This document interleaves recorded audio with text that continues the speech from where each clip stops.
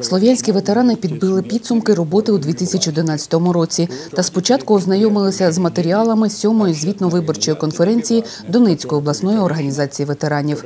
Загалом цього року мережа первинних ветеранських організацій збільшилася на 52 одиниці, а основні цілі діяльності ветеранських організацій не змінилися: добиватися індексації пенсій, безкоштовного лікування та санаторно-курортного оздоровлення ветеранів, забезпечення категорії діти війни 30% доплатою згідно з діючим законодавством. Також ветерани вже сьогодні розпочинають підготовку до святкування 25-річчя з дня заснування ветеранської організації України. Та цим діяльність ветеранських організацій не обмежиться.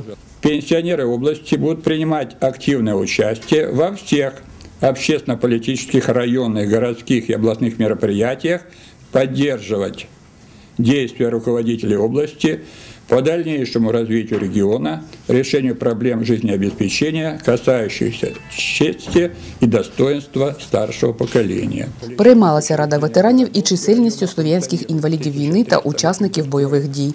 З 2000 року їхня кількість зменшилася майже в три рази. Також ветерани невдоволені діями влади щодо малого підвищення прожиткового мінімуму. А від цього напряму залежить і розмір пенсій за віком. С 1 декабря 953 гривны. Вчера опять Верховная Рада рассматривала этот вопрос, и было сказано, что не может сегодня пойти правительство Верховная Рада на вот такой прожиточный минимум 1525 гривен, потому что, потому что приходится за газ платить 500 долларов за тысячу кубических метров.